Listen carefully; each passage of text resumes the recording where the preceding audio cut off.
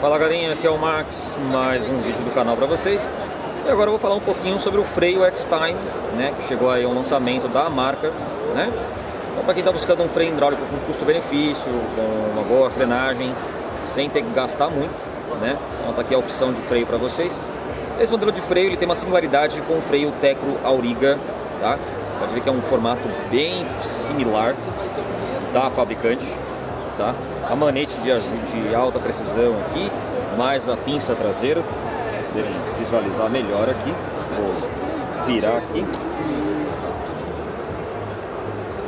Né? Ela já vem pronta para utilização, utilização de freio mineral, tá? Nesse caso.